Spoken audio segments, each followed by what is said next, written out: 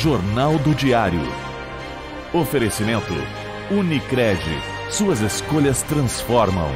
Unicred.capital e Oral Sim Implantes. Nosso caminho constrói sorrisos. Olá, na edição de hoje do JD você vai ver. Após Ministério Público pedir nova prisão dos réus da KIS, defesas acionam o Superior Tribunal Federal para que negue o pedido. Piso salarial da enfermagem pode impactar o orçamento dos municípios gaúchos em até 244 milhões de reais. E veja também, homem é preso após agredir e atropelar a ex-companheira em Santiago. A ocorrência foi registrada como feminicídio. E ainda, feira, shows, planetário e brique. Confira dicas para curtir o final de semana em Santa Maria. Na última semana da campanha do agasalho, foram arrecadadas mais de 10 mil doações. Confira estes e também muitos outros assuntos no JD em 15 segundos. Olá! Chegou uma nova Oral Sim para você. Mais ampla, com mais tecnologia, ainda mais qualidade e com o mesmo carinho de sempre. Se você deseja fazer parte da nossa família, agende uma avaliação. Oral Sim, há oito anos, transformando sonhos em sorrisos.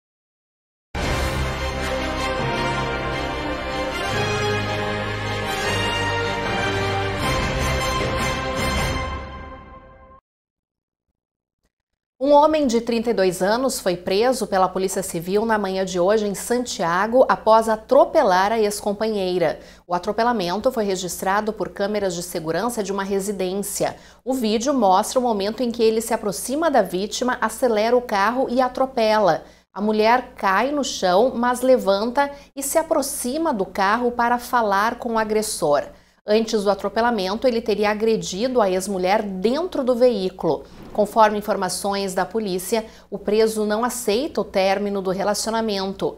O crime aconteceu no dia 24 de julho, de acordo com o blog apurado pelo Rafael Nemetz, de Santiago. O delegado Marcelo Batista atua na apuração dos crimes de tentativa de feminicídio duplamente qualificado. Além disso, o suspeito estava foragido desde o dia 26 de julho e estaria se escondendo no interior do município. O veículo foi apreendido e deve passar por perícia. Um carro pegou fogo no início da tarde dessa sexta-feira na região central de Santa Maria. O fato aconteceu quando o motorista estava trafegando pela rua Silva Jardim, bem na esquina da Avenida Rio Branco, num horário de muito movimento. Os bombeiros foram chamados por volta das duas horas da tarde e apagaram o fogo, que acabou consumindo a parte frontal do motor e também o painel do carro. A campanha do agasalho de 2022 terminou. Com mais de 70 mil doações, a iniciativa alcançou os objetivos e superou a ação do ano passado. A campanha ajudou mais de 2 mil famílias de Santa Maria. Depois de dois meses de arrecadação, a campanha do agasalho de 2022 chega ao fim. Com resultados positivos, a iniciativa organizada anualmente pela Prefeitura de Santa Maria e pela Secretaria de Desenvolvimento Social arrecadou doações de roupas, calçados e cobertores. Os números deste ano alcançaram o esperado e aumentaram em comparação com a ação do ano passado. A campanha do agasalho deste ano arrecadou cerca de 72 mil itens e ajudou mais de 2 mil famílias. Somente na última semana foram doadas mais de 10 mil peças de roupa. Para mim foi uma coisa muito gratificante. Nós podemos ajudar muitas pessoas, muitas famílias, muitas crianças. E assim, ó, eu só tenho a agradecer à população santamariense por ter nos ajudado e por ter assim se colocado no lugar dessas pessoas que passam muita necessidade, passam muito frio e que precisavam da nossa da, da ajuda de todos. A campanha contou com 27 pontos de coleta e teve as entregas centralizadas no Centro Desportivo Municipal. Lá, as comunidades puderam retirar e escolher os itens pessoalmente. A ação estava prevista para terminar no dia 31 de julho, mas a Prefeitura prorrogou em uma semana para arrecadar ainda mais doações. Agora, com o término, o material vai ser entregue diretamente nas comunidades e para projetos sociais. A semana de prorrogação da campanha ela serve exclusivamente para que nós possamos arrecadar doações. Com isso, a gente tendo ah, todas as, as, doações já ah, ah, separadas, é, nós podemos, então nós, nós, separamos por gênero, né, masculino, feminino, é, infantil, os calçados, e aí nós colocamos num veículo, vamos até as comunidades e abordamos as pessoas nas suas casas. Então a gente faz é, é, é, um trabalho mais minucioso, mas com certeza mais assertivo. Apesar da campanha do agasalho ter terminado, a população pode continuar doando e ajudando. Os interessados podem entrar em contato com a Secretaria de Desenvolvimento Social ou com o centro administrativo da Prefeitura. Além de roupas, também são aceitas doações de móveis e alimentos é, independente de termos já encerrado esse período da campanha, vamos estar recebendo para que possamos também atender pessoas que, porventura, nos próximos dias, já que o inverno não acabou ainda, possam estar solicitando o serviço de, direto na Secretaria de Desenvolvimento Social.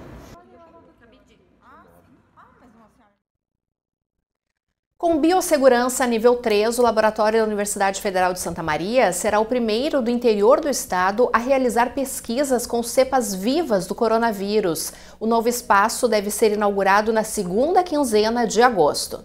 Em prol da saúde, os avanços científicos não podem parar. Na UFSM, o laboratório NB3 será o primeiro do interior do Rio Grande do Sul a possibilitar a análise de cepas do coronavírus vivo. O objetivo é entender o vírus e compreender como ele se comporta em células do corpo humano. A manipulação do microorganismo classificado como de risco 3 será possível graças ao nível de contenção do espaço, que é considerado um dos mais altos no quadro. O novo laboratório deve ser inaugurado na segunda quinzena de agosto. Com investimento de mais de 700 mil, o laboratório está localizado no prédio 15B. A professora e pesquisadora Michele Mainardi, que está à frente do projeto, afirma que esta é a primeira vez que pesquisadores de Santa Maria e região terão a possibilidade de fazer pesquisas com microorganismos vivos de nível 3. Atualmente, a instituição desenvolve pesquisas em laboratórios de nível 1 e 2. A expectativa é muito grande, assim, a gente a gente já tem há dois anos, né, traça, traçado esse caminho, né, para a gente conseguir inaugurar, implantar esse laboratório. Né? Até então a gente só conseguia fazer poucas pesquisas aqui em Santa Maria, sem essa estrutura, né? com o coronavírus principalmente, que é o nosso foco de pesquisa inicial. E a gente tinha que, que nos deslocarmos até Porto Alegre, fazer colaborações com laboratórios da PUC de Porto Alegre para a gente conseguir realizar todas as pesquisas que a gente almejava, né, que focava principalmente em descobrir novos alvos, né, para o tratamento do novo coronavírus. As pesquisas devem começar com três cepas do coronavírus: a original, de Wuhan, a variante brasileira P1 e a Omicron. Os materiais serão enviados pela Universidade de São Paulo. Entre acadêmicos, mestrandos, doutorandos, funcionários e professores, 25 pessoas irão atuar e desenvolver pesquisas neste espaço. Uma delas é a biomédica e mestranda do programa de pós-graduação em ciências farmacêuticas, Jéssica Dotto Delara. É muito bom participar de um grupo de pesquisa que vai ter essa oportunidade, né, e ser o primeiro laboratório Do interior do estado.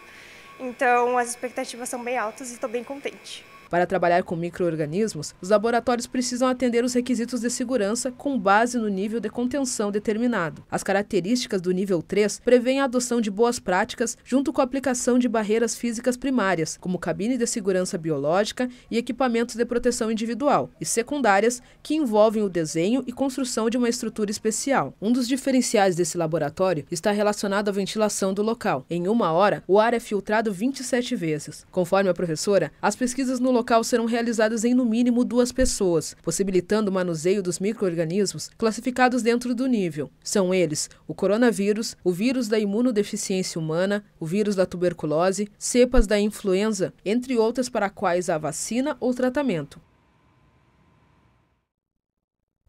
No Rio Grande do Sul, apenas a Pontífica Universidade Católica, a PUC, e o Laboratório Central de Saúde Pública do Estado, LACEN, do Centro Estadual de Vigilância em Saúde, contam com esse tipo de laboratório.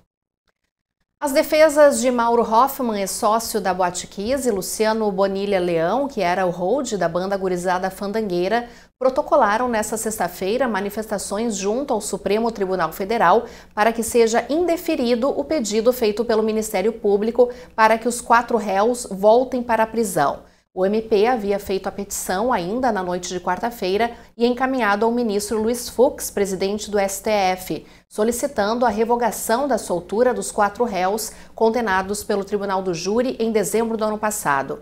Assinado por Bruno Seligman de Menezes, um dos advogados de defesa de Mauro, a manifestação refere que o pedido do MP é carente de qualquer lógica além de criticar o argumento do MP que solicitou a prisão dos réus, alegando risco à ordem pública.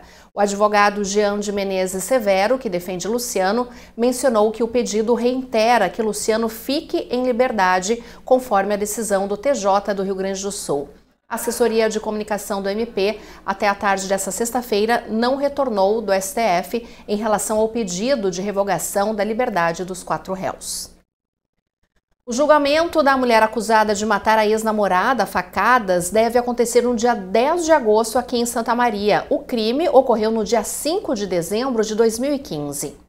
O julgamento de Stephanie Freitas, acusada de matar a facadas a ex-namorada Helenara Pinzon, vai ocorrer no dia 10 de agosto, às 9 horas da manhã, no Fórum de Santa Maria. Stephanie é acusada de homicídio qualificado por feminicídio em razão do crime se caracterizar como violência doméstica e por motivo torpe, já que teria matado Helenara por não aceitar o fim do relacionamento. A acusada é representada pelo advogado Bruno Seligman de Menezes. Já o Ministério Público estará representado pelo promotor Thomas Coleto, da 6 Promotoria Criminal de Santa Maria. Helenara Pinzon e Stephanie Freitas, na época com 22 e 24 anos, respectivamente, terminaram o relacionamento, mas ainda continuavam morando juntas quando o crime aconteceu. A vítima foi encontrada morta no próprio apartamento na rua General Neto, no bairro Nossa Senhora de Lourdes, na manhã de 5 de dezembro de 2015, após os vizinhos escutarem os pedidos de socorro e chamarem a polícia. Quando a brigada militar chegou ao local, encontrou Helenara sem vida, com pelo menos três facadas no corpo. Stephanie foi levada para a unidade de pronto atendimento, pois estava em estado de choque. Na época, ela ficou internada por um mês no Hospital Casa de Saúde e, posteriormente, foi encaminhada para a ala feminina do Presídio Regional de Santa Maria. Stephanie permaneceu presa preventivamente até julho de 2016, quando ganhou liberdade provisória, que é mantida desde então. E teve apreensões de drogas em dois pontos diferentes da cidade. Na Avenida Fernando Ferrari, bairro Nossa Senhora de Lourdes, um jovem de 21 anos foi preso em flagrante por volta das duas horas da manhã desta sexta-feira, após a Brigada Militar ser informada pela sala de operações para verificar um veículo que estava em atitude suspeita. Ao chegarem no local, os policiais abordaram e identificaram o suspeito que estava no automóvel. Encontraram mochilas, sacolas contendo 900 gramas de metanfetamina, 512 gramas de cocaína, 2 quilos de maconha, 33 gramas de êxtase 27 sementes de maconha, balança de precisão e dinheiro. O suspeito foi autuado em flagrante pelo crime de tráfico de drogas e conduzido para a penitenciária estadual de Santa Maria.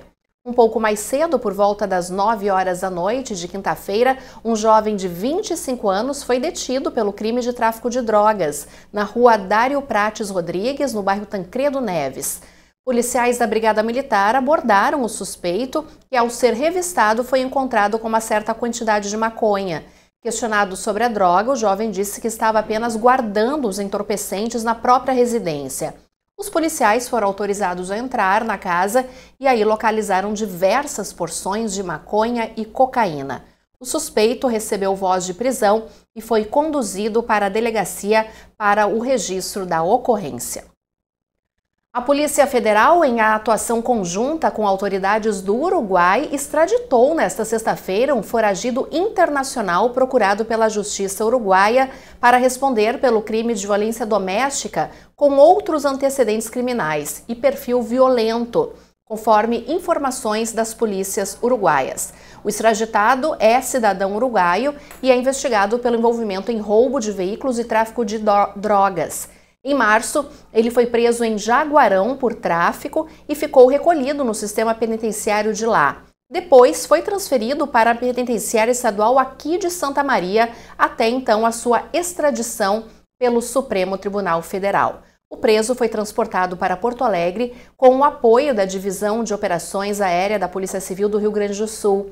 O extraditado tem 26 anos e foi entregue pela Interpol do Brasil aos policiais da Interpol Uruguaia no Aeroporto Internacional Salgado Filho, em Porto Alegre. A seguir, startup incubada da Universidade Federal de Santa Maria ganha um prêmio O Futuro da Terra 2022 da Fapergues. O JD faz agora um intervalo e nós vamos acompanhar como que está esse início de noite de sexta-feira, ainda dia em Santa Maria. Agora são 6 horas e 21 minutos. Nós vamos então para o intervalo, em seguida nós voltamos. Escolha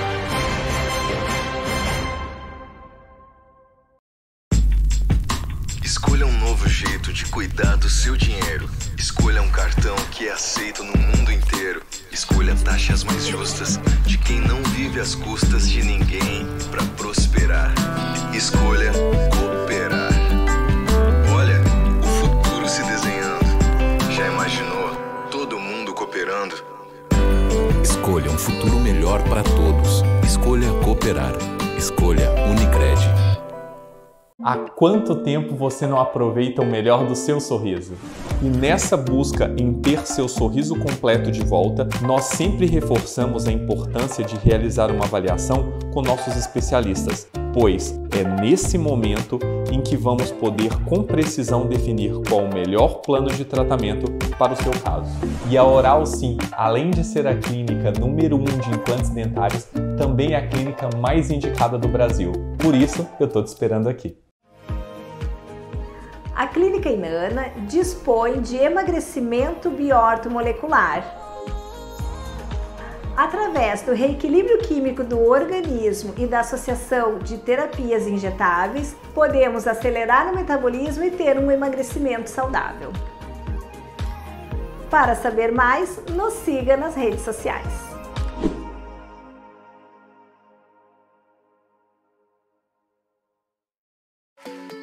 Perfeição, grau máximo do que é impecável. Perfeição é questão de perspectiva. O importante é enxergá-la com seus próprios olhos. Quando eu preciso de óculos, eu conto sempre com a Pontelli. Tem uma variedade de armações que combinam com a minha personalidade.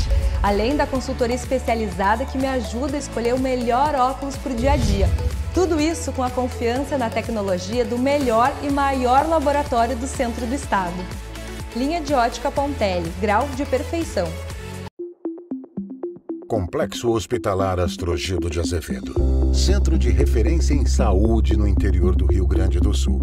Uma estrutura que integra o Hospital Astrogildo de Azevedo, a Policlínica Provedor Wilson Aita e o Hospital Alcides Brum, reunindo uma equipe multiprofissional e equipamentos de tecnologia de ponta para ser referência em múltiplas especialidades.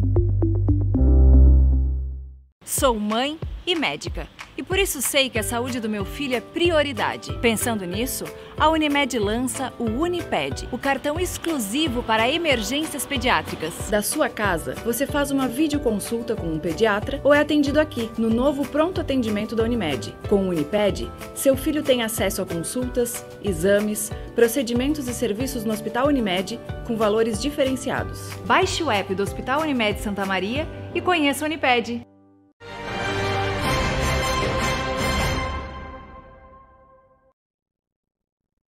A Fundação de Amparo à Pesquisa do Estado do Rio Grande do Sul, a FAPERGS, divulgou nesta semana os vencedores do prêmio O Futuro da Terra 2022.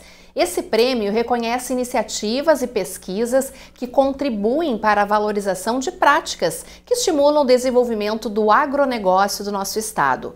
Duas iniciativas da Universidade Federal de Santa Maria estão na lista. E para falar mais sobre a empresa e também sobre esse importante reconhecimento, eu recebo ao vivo aqui no JD o fundador e diretor executivo da Zait, Renan Buquet Pardinho. Boa noite, Renan, seja muito bem-vindo. Parabéns pela premiação. E eu já gostaria de saber o que, que significa essa premiação para a empresa. Boa noite. Boa noite, Kellen. Muito obrigado pelo convite. É um prazer enorme estar aqui. É, esse prêmio eu acho que ele, é, ele representa não só para a Zait, mas para todo o nosso ecossistema e a Universidade Federal de Santa Maria, um empenho que tem sido de investimento e trabalho na área de inovação.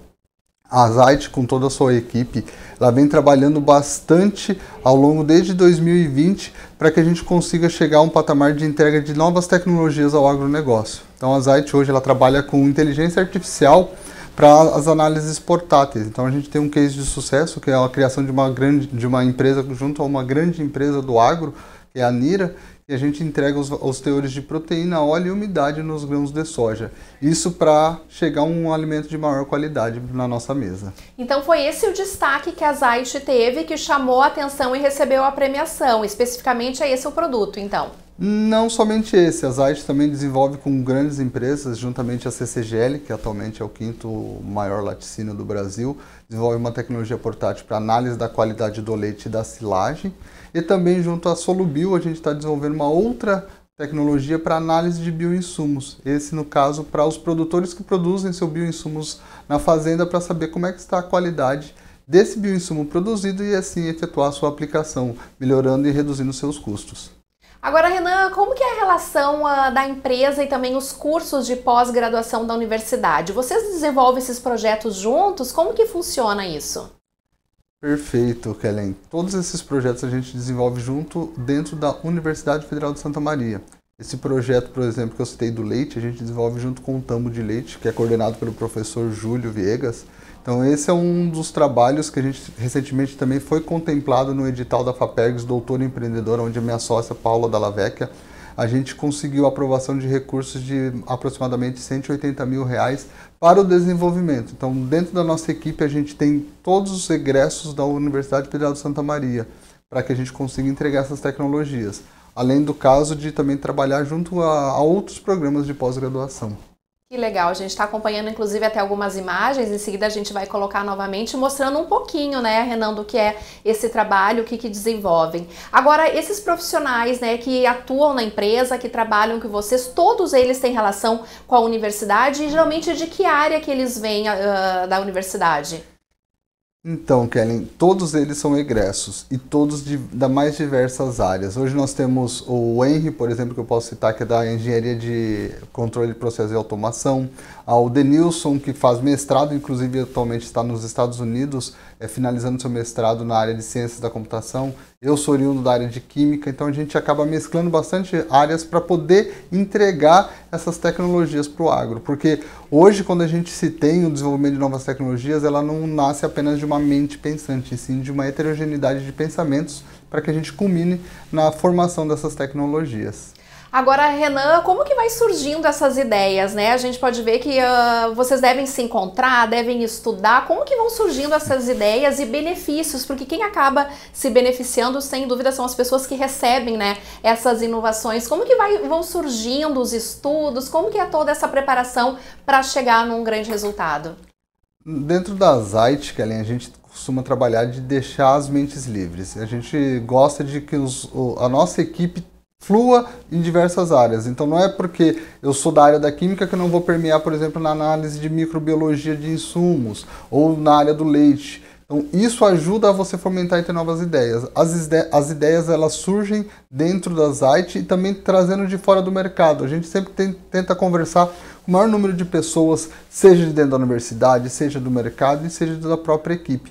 Porque é através da, da troca de conhecimento que a gente consegue atingir esses objetivos de de repente surgir uma ideia como a Nira, como esse dispositivo portátil para análise da qualidade do leite e até mesmo um dispositivo na, na área de bioinsumos. Só para lembrar, esse, dispositivo que a gente vai desenvolver junto com a Solubil também tem uma outra empresa participante dentro da incubadora Pulsar, que pertence ao Parque Tecnológico da, Uf, da UFSM, a UFTEC. Então a gente está aliando duas empresas de dentro da universidade para trazer uma nova tecnologia para o produtor. Pois é, Renan, eu gostaria de saber, né, tu que está dentro desse projeto, né, dentro das incubadoras, qual a importância disso para o dia a dia e para o futuro desses profissionais que acabam né, tendo a sorte e a oportunidade de trabalhar em espaços como esse? Eu acho que é, é, é muito importante porque hoje a universidade ela ensina o conhecimento técnico. E o mercado ele traz aquele conhecimento de gestão de pessoas e relações. Então você é, é, o que eu sempre falo. Eu sou da química e trabalho no agro. Como é que eu vou conversar com o produtor se eu levar um tema muito técnico? Eu tenho que aprender a conversar com ele. Então, é através dessas trocas de experiência que a gente consegue trazer muito mais conhecimento para os profissionais que ali estão dentro da Zite. não só dentro das áreas, mas das outras startups que também atuam em outras diversas áreas, para que o aluno graduando, pós-graduando da universidade, ele possa ter a experiência que o mercado possa trazer para ele. Gostaria de saber se vocês já estão trabalhando em alguma novidade, se dá para adiantar alguma coisa que vem por aí, quais são os planos da empresa para o futuro?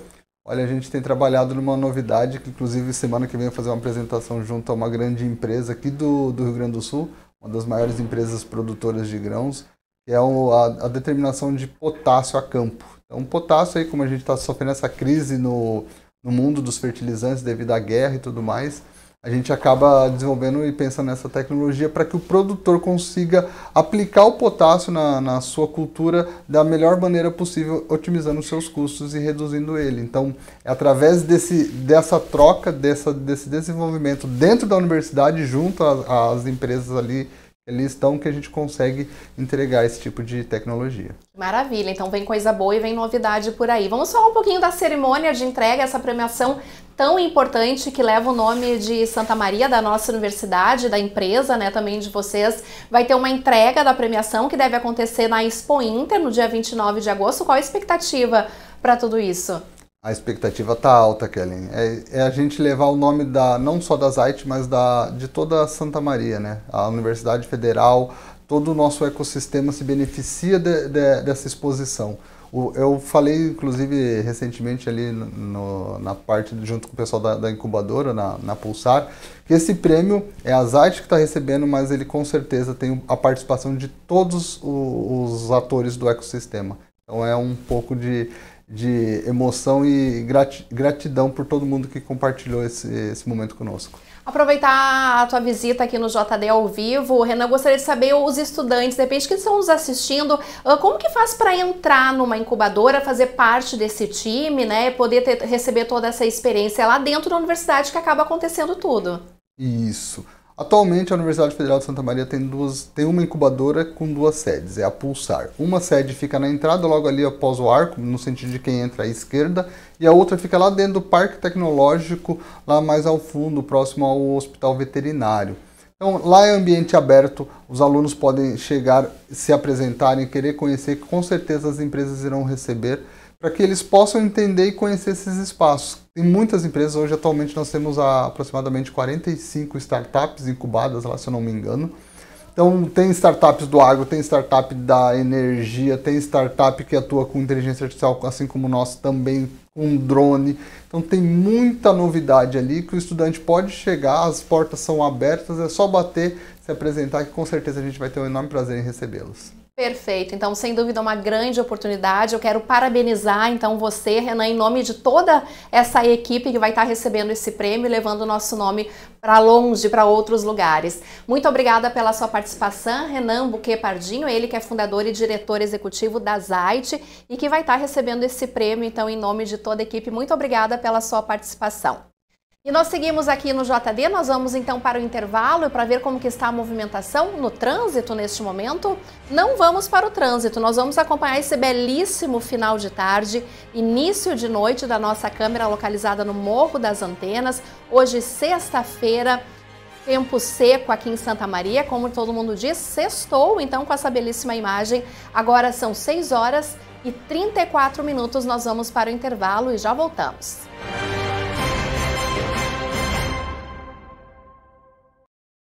Viajar com acompanhante a Dubai ou dirigir rumo ao futuro em um carro elétrico zero quilômetro? Promoção Futuro Próspero Unicred. São mais de um milhão de reais em prêmios incríveis para quem investe no amanhã. Invista a partir de cinco mil reais na renda fixa Unicred e concorra a um Mini Cooper elétrico, 20 viagens com acompanhante para Dubai, 20 iPhones, 10 MacBooks Pro e muito mais. Participe! Há quanto tempo você não aproveita o melhor do seu sorriso? E nessa busca em ter seu sorriso completo de volta, nós sempre reforçamos a importância de realizar uma avaliação com nossos especialistas, pois é nesse momento em que vamos poder com precisão definir qual o melhor plano de tratamento para o seu caso. E a Oral Sim, além de ser a clínica número 1 um de implantes dentários, também é a clínica mais indicada do Brasil. Por isso, eu estou te esperando aqui. A Clínica Inana dispõe de emagrecimento biortomolecular. Através do reequilíbrio químico do organismo e da associação de terapias injetáveis, podemos acelerar o metabolismo e ter um emagrecimento saudável. Para saber mais, nos siga nas redes sociais.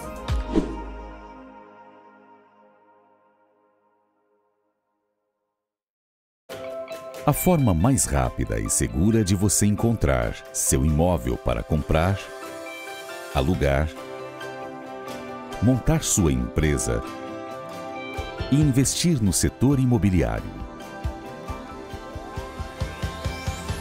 Encontrar o que você precisa. Orion Imobiliária e Incorporadora. A experiência de quem conhece e investe na cidade. So darling, take my hand, you got to understand. I don't wanna just be friends.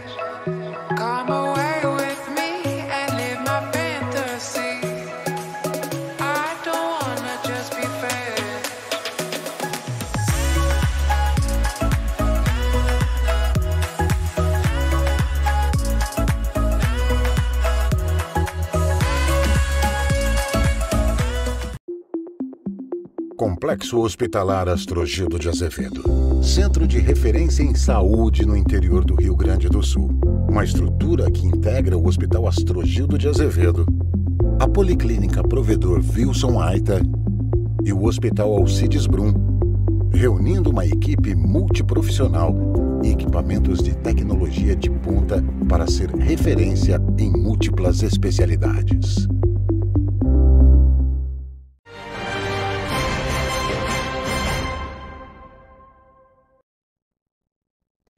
Partir de segunda-feira, os testes contra a Covid-19 serão realizados somente em unidades de saúde do município. O Centro de Referência Municipal da Covid-19 terá equipe direcionada para outras atividades da Prefeitura. Segundo o secretário de Saúde, a descentralização deste ponto de referência da Covid se deve à diminuição da procura pela testagem. Desde janeiro deste ano, cerca de 25 mil pessoas receberam algum tipo de atendimento no local. A equipe que atuava até então no Centro de Referência Municipal da Covid retorna para a sede da Superintendência de Vigilância em Saúde. Porém, no local, a população não terá acesso a testes, que passam a ser ofertados unicamente nas unidades de saúde sem agendamento.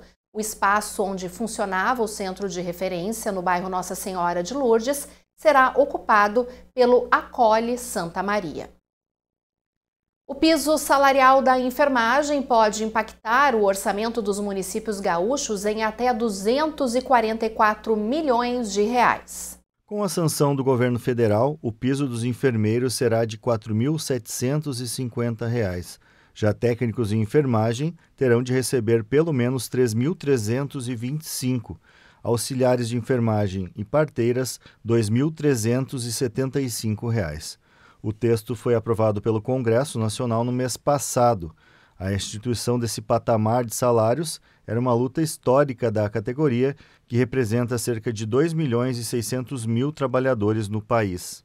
Só um artigo do projeto de lei foi vetado, é o que determinava um reajuste anual do novo piso com base no Índice Nacional de Preços ao Consumidor, o INPC, que é um dos indicadores da inflação. Com isso, não haverá reajuste automático do piso. A presidente do Conselho Federal de Enfermagem, Betânia Pereira dos Santos, diz que mais de 80% da categoria no país recebe valores inferiores ao novo piso, que agora é lei e já está em vigor. Apesar de ser um avanço para a categoria, o piso salarial dos enfermeiros e técnicos gera preocupação para prefeitos e hospitais, já que impactará bastante na folha salarial. Em entrevista ao programa F5 da Rádio CDN, Paulo Salerno, presidente da Federação das Associações de Municípios do Rio Grande do Sul, a FAMURS, lembrou que a medida não indica qual será a fonte dos recursos para os municípios. E primeiro eu começo dizendo que realmente a gente tem todo o reconhecimento, né, não só por essas por essas atividades da enfermagem, mas também da medicina, enfim, todo mundo que de uma forma ou de outra contribui, né, com, a, com as questões de saúde. E também que nós não somos contra uh, nenhuma questão que envolva os pisos salariais. A nossa discussão é dos impactos orçamentários, como tu disseste, né? Nós temos uma previsão de um impacto aí de em torno de 244 milhões nos municípios do Rio Grande do Sul, né? Porque em alguns municípios mais, em outros menos, em alguns nem tanto, porque nós temos as nossas particularidades, né? Existem municípios que nos seus planos de carreira, eh, enfermeiros ou técnicos, enfim, já ganham acima, né, do, do próprio valor ou muito próximo a esse valor. E existem outros que, conforme a sua realidade, têm salários menores do que esse. Isso, né, é, fere é, essa questão dos pisos, ela fere a autonomia dos entes federados, né? Porque é, uma das questões que está lá preceituada na Constituição Federal é a autonomia dos entes, uhum. autonomia do município, autonomia do estado e autonomia da União. E eu, no momento em que tu vens de cima para baixo, do, a partir do Congresso Nacional, a aprovação de matérias que acabam interferindo no orçamento dos municípios, sem nos indicar a fonte de recurso eh, advinda também, no caso da União, porque é quem está eh, aprovando a matéria e, e impondo aos municípios a, a, a essa condição, nós ficamos com a autonomia dos municípios completamente ferida. Então, nós vamos ter um impacto orçamentário, eh, vamos nos adaptar a ele, com certeza, vamos ter que trabalhar e vamos fazer isso para tentar cumprir com o que está previsto. Agora, nós não sabemos ainda de que maneira será. Alguns municípios farão mudanças nos seus planos de carreira, outros deverão, de repente, pagar completivo, como acontece inclusive na educação. Uhum. E isso tudo agora está sendo analisado, estudado, para que nós possamos, a partir da orientação jurídica né, e da formatação dessas questões, ter a condição de poder enfrentar. Vamos agora falar sobre meio ambiente. Um estudo da Prefeitura de Santa Maria foram analisadas a produção de lixo de cada bairro contemplado pela coleta convencional. Em seis meses, o bairro que mais produziu lixo foi o bairro Camobi, o maior em população da cidade.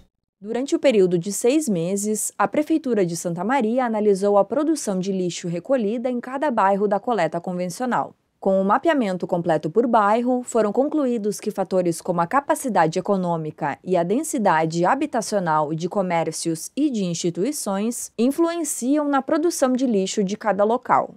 Elencando todos os 41 bairros por número de produção, Camobi fica em primeiro lugar como o que mais produz lixo. O bairro de Camobi tem uma média semanal de pouco mais de 152 toneladas. Em segundo lugar está o bairro Pinheiro Machado, com produção de 69 toneladas de lixo por semana. Em terceiro, o bairro Juscelino Kubitschek, com pouco mais de 60 toneladas. Em quarto lugar, o bairro Nova Santa Marta, com 52,71 toneladas de lixo. E em quinto, o bairro Tancredo Neves, com 52,06 toneladas de lixo por semana. No caso dos menores produtores, os mesmos aspectos de habitantes, comércio e economia também interferem na quantidade de lixo descartada. Nas características em comum, eles são quase totalmente formados por residências. O bairro Renascença, que menos produz na cidade, possui uma das menores rendas econômicas do município e chega a uma produção de apenas 4 toneladas semanais. No bairro São João, são 9,96 toneladas semanais, que representam 5,8 quilos por habitante.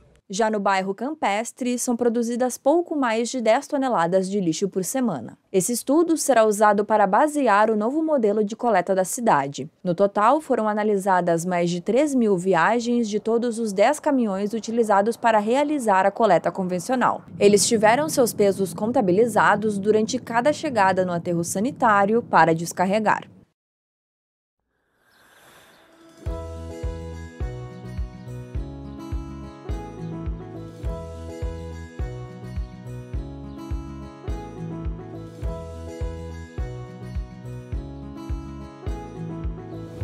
Comitê pelo Meio Ambiente um compromisso permanente com o futuro. Sobre a reportagem da Eduarda Costa, lembrando que o bairro Centro não entra no ranking por ser coletado no modelo de containers, que abrangem bairros próximos, o que impede a contabilização individual pela prefeitura. Vamos agora à previsão do tempo? Os próximos dias devem ser de muita umidade, instabilidade e chuva na região central. No sábado, o sol ainda aparece um pouco, mas com muitas nuvens. Nós vamos conferir então detalhes de como que ficam as temperaturas. Sábado, mínima de 5, máxima de apenas 13 graus. Domingo, temperaturas variando entre 8 e 14. A semana começa com mínima de 11 na segunda-feira e máxima de 14 graus. Na terça-feira, a máxima não passa dos 13. Vamos ver algumas cidades aqui da nossa região, como que fica o sábado. Mínima de apenas 4 graus em Caçapava do Sul, máxima de 14. Em Agudo, máxima de 17. Itara, temperaturas variando entre 4 e 13. E em São Cepé, a máxima não deve passar dos 14 graus neste sábado. E o trânsito ficou lento no final da manhã de hoje no centro da cidade por causa da colocação de um novo semáforo. A instalação aconteceu entre a rua Apple com a Niederauer. Após registro de acidentes no local, a Secretaria de Mobilidade Urbana instalou o equipamento para melhorar o controle de tráfego de veículos e garantir mais segurança aos pedestres. Por enquanto, o equipamento está ligado apenas no amarelo para alertar os motoristas, pedestres e também ciclistas. Além do semáforo, foi feita a sinalização da via com faixa de pedestres. A previsão é de que a partir deste sábado o conjunto semafórico já esteja funcionando normalmente. E no próximo bloco você vai ver as dicas para curtir o final de semana aqui em Santa Maria. O JD vai para o intervalo e nós voltamos em seguida.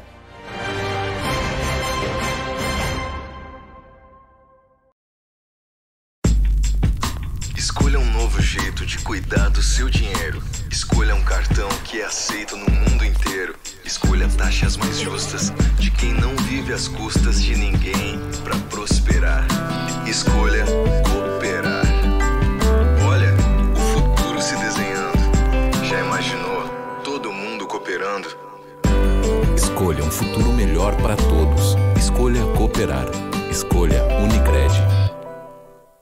quanto tempo você não aproveita o melhor do seu sorriso?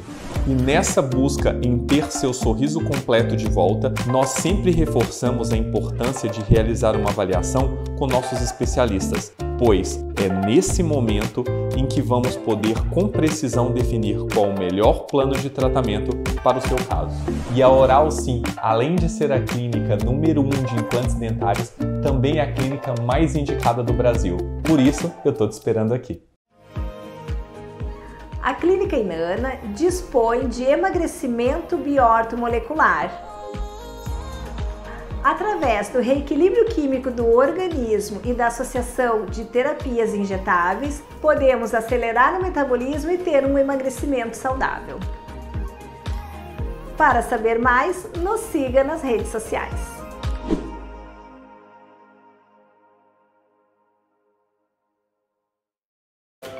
A forma mais rápida e segura de você encontrar seu imóvel para comprar, alugar, montar sua empresa e investir no setor imobiliário. Encontrar o que você precisa. Orion Imobiliária e Incorporadora. A experiência de quem conhece e investe na cidade. So, darling, take my hand. You got to understand. I don't wanna just be friends.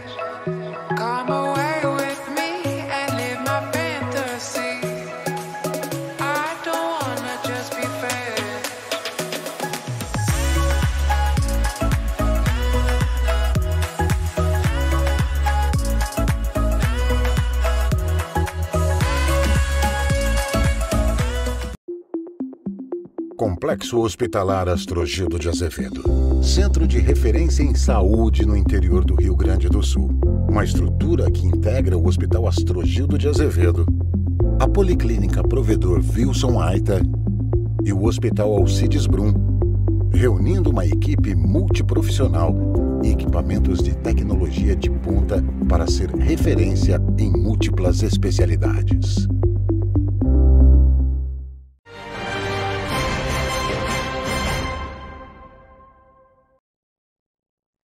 Projeto social A Toque comemorou 20 anos de história nesta quarta-feira em um show no palco do Teatro 13 de Maio. O espetáculo também foi a atração da abertura oficial do Mês da Cultura de Santa Maria.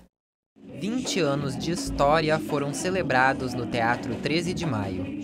Com 35 pessoas no palco, o grupo A Toque mostrou muita música e o resultado de duas décadas de oficinas e ações sociais em um grande show. O projeto, comandado por Márcio Tólio, o Cabecinha, busca a socialização através da música e é composto, em sua maioria, por crianças e adolescentes de escolas periféricas e da rede municipal de ensino. Não é toda hora que a gente faz 20 anos um projeto uh, de cultura, de música, né, num país que às vezes a gente uh, tem que ter muita resistência para trabalhar, embora aqui em Santa Maria a gente tem, a gente pode realmente se orgulhar desse título de cidade de cultura e é uma expectativa muito boa, né? Porque a gente vai ver no palco crianças e vai ver também, como eu costumo dizer, as crianças que cresceram, né?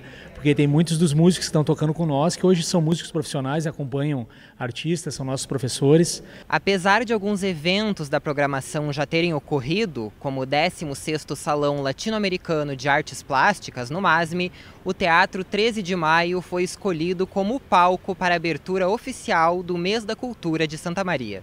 A gente faz a abertura oficial num espaço que é para nós simbólico, né? Que é o Teatro 13 de Maio. E os 20 anos do Toque, né? Que, que faz diferença. Há 20 anos aí que faz diferença com a arte, com a cultura na vida de crianças, jovens e adolescentes. O show contou com a apresentação de dois grupos do projeto. O bloco A Toque trouxe covers de músicas brasileiras e também autorais.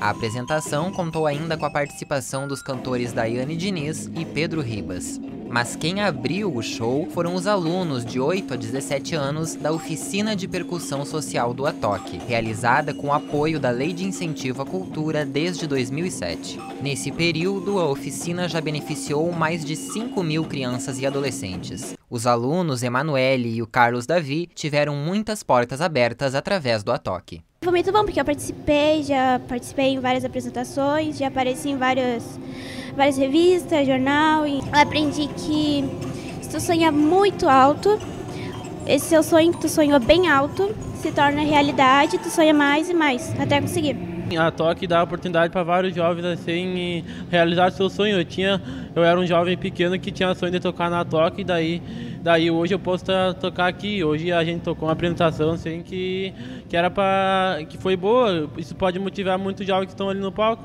Assim a gente pode realizar nosso sonho. Muitas vezes muitas pessoas dizem que a gente não pode realizar sonho, mas hoje nós estamos aqui. Hoje isso pode ser uma porta que a gente possa levantar a nossa carreira. E neste fim de semana, atrações na cidade prometem agradar a todos os gostos. Santa Maria terá feiras na Praça Saldanha Marinho, no Parque Itaimbé, programação especial no Planetário, juntamente com a Polifeira do Agricultor no campus da Universidade Federal de Santa Maria. Além, é claro, do tradicional BRIC da Vila Belga, com a primeira edição do mês. Opções aqui não faltam. Confira então os eventos da cidade para sábado e domingo. No sábado, acontece a quinta edição da Pura Traça, feira de brechós na Praça Saldanha Marinho. A feira, que já ocorreu em outros locais como Parque Itaimbé, Praça Saturnino de Brito e Jardim Botânico da UFSM, é sediada pela quinta vez neste local por causa do sucesso das edições anteriores. O principal objetivo da feira é disseminar o conceito de consumo sustentável entre a população santamariense.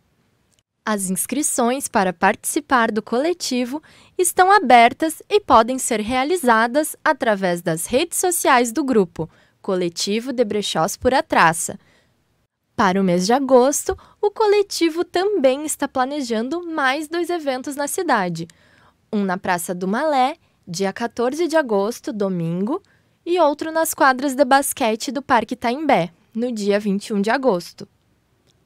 Também no sábado, a feira Feito por Mulheres ocupa mais uma vez as quadras do Parque Taimbé, com economia feminina, música e com a roda de conversa Territórios Culturais Parque Taimbé, que surge com o intuito de discutir, provocar e acolher as narrativas de artistas que movimentam a cena cultural no parque. Para encerrar o evento, o bloco Te Permite Mulher convida todos para curtir o final da tarde com muita percussão. O evento começa às duas horas da tarde. Em Itaara, o Museu de Ufologia realiza visitas guiadas especiais com a temática ET de Varginha e Chupa-Cabras, Realidade ou Lendas Urbanas. Os visitantes podem conhecer os dois mais enigmáticos casos de supostas criaturas alienígenas que assombraram o Brasil e a América nos anos 90 e 2000. É preciso reservar ingressos pelo telefone que aparece na sua tela – os ingressos custam 30 reais para adultos e 15 para estudantes e idosos. Crianças até 6 anos não pagam. No domingo à tarde, das 2 às 18, ocorre a primeira edição do tradicional Brick da Vila Belga no mês de agosto. Além da variedade de produtos que incluem artesanato, itens raros, discos, antiquários, gastronomia, sebos e gibis, a programação contará com intervenções culturais e muita economia criativa, cultura e lazer nas ruas mais coloridas da cidade. Para celebrar os 53 anos da chegada do homem à Lua, essa data tão significativa para a ciência, o Planetário da Universidade Federal de Santa Maria realiza um evento em parceria com os estudantes do curso de Relações Públicas neste domingo, a partir das duas da tarde. A proposta é comemorar esse marco com uma exposição sobre a corrida espacial, um protótipo do Apollo 11 e outras peças visuais, além das sessões dentro do próprio planetário. O evento ainda vai contar com atividades para as crianças, como oficina artística de criação de foguetes, e na ocasião também vai ser lançado um protótipo de foguete. As atividades comemorativas também vão contar com a presença da tradicional Polifeira de Santa Maria. Aí, então, é só aproveitar o final de semana, sábado e domingo, com muitas atrações e programação aqui na cidade. E o JD de hoje vai ficando por aqui. A seguir, você fica com a segunda edição do programa Sala de Debate. E a gente se encontra amanhã no JD de sábado. Até lá!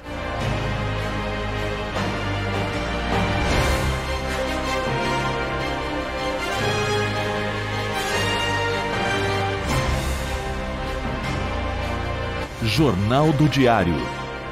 Oferecimento: Unicred. Suas escolhas transformam. Unicred.capital e Oral Sim Implantes. Nosso caminho constrói sorrisos.